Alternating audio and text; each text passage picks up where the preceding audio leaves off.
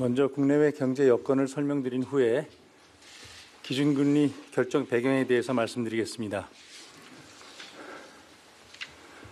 우선 대외 여건을 살펴보면 글로벌 경기는 주요국의 통화 긴축 기조가 지속되면서 둔화 국면이 계속될 것으로 예상됩니다. 미국은 성장세가 둔화되겠지만 12월 연준 회의 이후 완화된 금융 여건과 양호한 고용 상황을 감안할 때 둔화 속도가 완만할 것으로 전망됩니다. 유로 지역은 대외 수요 약화의 영향으로 성장 부진이 이어지겠으며 중국은 부동산 경기 부진이 지속되면서 성장률이 4% 중반으로 낮아질 것으로 예상됩니다. 주요국의 인플레이션은 둔화 흐름을 이어가고 있지만 목표 수준으로 안정되기까지에는 아직 상당한 기간이 소요될 것으로 예상됩니다.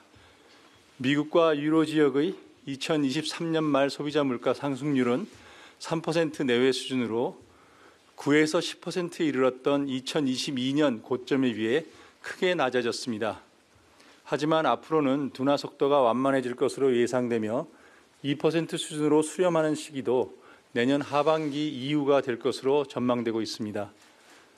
국제금융시장에서는 미 연준의 금리 인하 가능성에 대한 기대가 높아지면서 주요국 국채 금리가 하락하고 미 달러화는 약세를 나타냈으며 글로벌 주가는 상승하였습니다.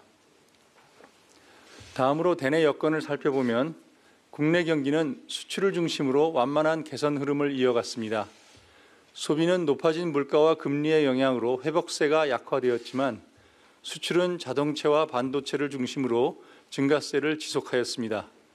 앞으로 국내 경제는 지난기 하반기 이후에 개선 흐름을 이어갈 것으로 보이며 금년 성장률도 지난 11월 전망치였던 2.1%의 대체로 부합할 것으로 예상됩니다.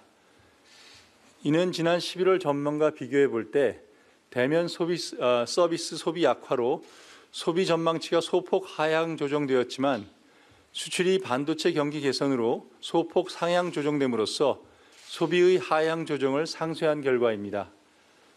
향후 성장 경로는 고금리 지속의 파급 영향, IT 경기의 개선 정도 등에 영향받을 것으로 보입니다.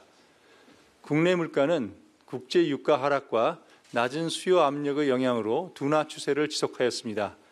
10월 중 3.8%까지 높아졌던 소비자 물가 상승률이 12월에는 3.2%로 낮아졌고 근원 인플레이션과 단기 기대 인플레이션도 각각 2.8%와 3.2%로 둔화되었습니다.